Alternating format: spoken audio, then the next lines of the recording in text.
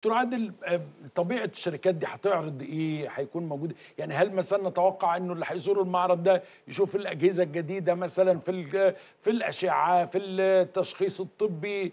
آه، آه، زي ما كان دكتور حسام بيقول في شركات طبية أدوية جديدة هيكون في إيه في العرض؟ هو لو خدنا الجزء بتاع المعرض أنا بس عندي جزئية حضرتك ذكرته إن مصر وجنوب أفريقيا حضرتك. ذكرت لا جنوب أفريقيا مركز من مراكز المؤتمرات الطبية العالية ومصر نفس الحكاية. طبعا. يعني مصر معروفة دايما مؤتمراتنا في تخصصاتنا المختلفه دايما مؤتمرات مصر مؤتمرات قوية.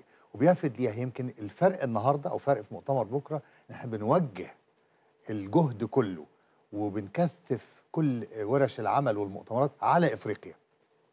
آه، لأن إفريقيا فيها تحديات كبيرة. إحنا عندنا 40% من وفيات العالم بتحدث في افريقيا 40% من الوفيات في أفريقيا بس. في أفريقيا. 25% من البيردن أو من ال ال ال يعني الحمل المرضي في على مستوى العالم موجود في أفريقيا.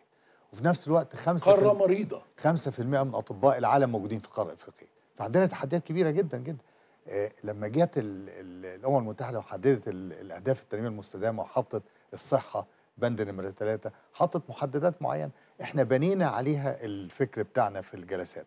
الشركات اللي هتعرض حضرتك مش شركات لا كل الشركات العالمية في مجال التكنولوجيا الطبية ومجال الدوائي كل ما تسمع عنه يعني أسماء ما فيش حرج General Electric Philips Siemens Siemens، كل كل آه. الشركات موجودة وجاية وبيسعوا سعي حثيث إن هم يكونوا متواجدين في المعرض لعرض أحدث ما توصل اليه العلم في التكنولوجيا الطبية وتقديمه للقاره الافريقيه إحنا بنسعى إن مصر تبقى ال hub أو تبقى المحور مركز. المركز الأساسي تنتقل منه آه، التكنولوجيا الطبية وتنتقل منه التعليم المستمر وال- والتدريب وال- ورفع الكفاءات كل ده يبقى من خلالنا بإذن الله. يعني نقدر ننجح في هذا بإذن الله تعالى.